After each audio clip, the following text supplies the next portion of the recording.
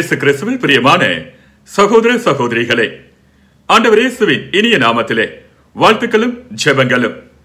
சகோதரர் ஒருவர் ஒரு மறை மாவட்ட ஆயர் பணி ஓய்வு பெற்றால் அல்லது துரதிர்ஷ்டவசமாக இறந்து விட்டால் அல்லது தாமாக முன்வந்து பணி துறப்பு செய்து அது ஏற்றுக்கொள்ளப்பட்டால் அல்லது வேறொரு மறை மாவட்டத்திற்கு இடமாற்றம் செய்யப்பட்டால் அல்லது பணி நீக்கம் செய்யப்பட்டால் அந்த மறை மாவட்டத்தின் பொறுப்பு யாரிடம் இருக்கும் என்று கேட்டிருந்தார்.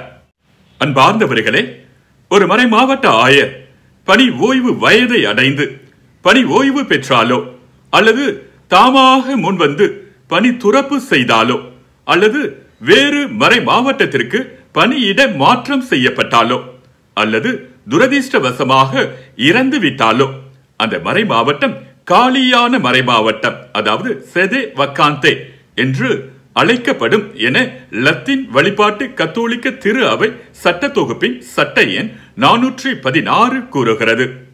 மறைமாவட்ட ஆயரின் இறப்பு ரோமை தலைமை குருவால் ஏற்றுக்கொள்ளப்பட்ட அவரது பணித்துறப்பு ஆயரிடம் தெரிவிக்கப்பட்ட பணி மாற்றம் அல்லது பணி நீக்கத்தால் ஒரு மறைமாவட்டம் காலியாகிறது என்று அந்த சட்ட எண் கூறுகிறது.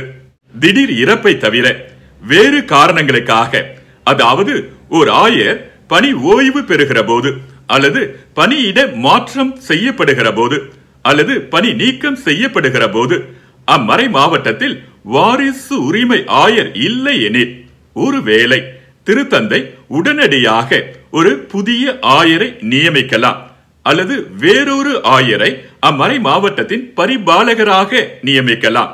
அப்படி பரிபாலகராக நியமிக்கப்பட்டால் அவர் அப்போஸ்தலிக்க பரிபாலகர் என்று அழைக்கப்படுவார். புதிய ஆயரோ அல்லது அப்போஸ்தலிக்க பரிபாலகரோ உடனடியாக நியமிக்கப்படவில்லை எனில் அந்த மறை மாவட்டத்தில் ஏற்கனவே ஒரு துணை ஆயர் நியமிக்கப்பட்டிருந்தார். சட்ட எண் நானூற்றி பத்தொன்பதின் படி மறை மாவட்ட நிர்வாகி நியமிக்கப்படுகின்ற வரை துணை ஆயர் மறை மாவட்டத்தின் ஆளுகையை கவனித்துக் கொள்வார். அப்படி புதிய ஆயரோ அல்லது அப்போசலிக்க பரிபாலகரோ உடனடியாக நியமிக்கப்படவில்லை எனில் ஒரு மறைமாவட்டம் காலியான எட்டு நாட்களுக்குள் மறைமாவட்ட ஆலோசகர் குழாமினால் ஒரு மறைமாவட்ட நிர்வாகி தேர்ந்தெடுக்கப்பட வேண்டும். அவர் மறைமாவட்டத்தை இடைப்பட்ட காலத்தில் ஆளுகிறார் என்று சட்ட எண் நானூற்று இருபத்தி ஒன்றின் முதலாவது பத்தி கூறுகிறது. மறைமாவட்ட நிர்வாகி ஏதாவது ஒரு காரணத்தின் பொருட்டு குறிப்பிடப்பட்டுள்ள காலத்திற்குள் அதாவது எட்டு நாட்களுக்குள் சட்ட முறைமைப்படி தேர்ந்தெடுக்கப்படவில்லை என்றார். அவரின் நியமனம் உயர் மறைமாவட்ட ஆயருக்கு உரியது. உயர் மறைமாவட்ட ஆட்சி பீடமே ஆயரின்றி இருந்தால் மறைமாவட்ட நிர்வாகியின் நியமனம் சார்பு நிலை ஆயர்களில் பதவி உயர்வால் மூத்த சார்பு நிலை ஆயருக்கு உரியது என்று சட்ட எண் நானூற்றி இருபத்தி ஒன்றின் இரண்டாவது பத்தி கூறுகிறது.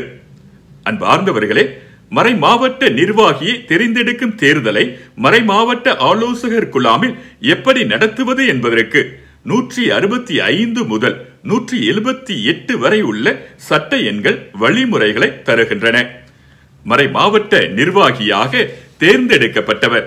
தம்முடைய தேர்தலை கூடிய விரைவில் திரு தூதரக ஆட்சி பீடத்திற்கு தெரிவிக்க வேண்டும் என சட்ட எண் நானூற்றி இருபத்தி இரண்டு கூறுகிறது. மறை மாவட்ட நிர்வாகி தாம் தேர்ந்தெடுக்கப்பட்டதை ஏற்றுக்கொண்டவுடன் தம்முடைய அதிகாரத்தை பெறுகிறார். எவருடைய உறுதிப்படுத்துதலும் அவருடைய தெரிவுக்கு தேவையில்லை. ஆனால் மறை மாவட்ட ஆலோசகர் குழா முன்னிலையில் அவர் விசுவாச உறுதிமொழி எடுக்க வேண்டும் என சட்ட எண் நானூற்றி இருபத்தி ஏழின் இரண்டாவது பத்தி கூறுகிறது. மீண்டும் மற்றொரு கேள்வி பதிலோடு உங்களை சந்திக்கும் வரை விடைபெறுகிறேன். ஆண்டவர் இயேசு உங்களையும் உங்கள் குடும்பங்களையும் நிறைவாய் ஆசீர்வதிப்பாராக.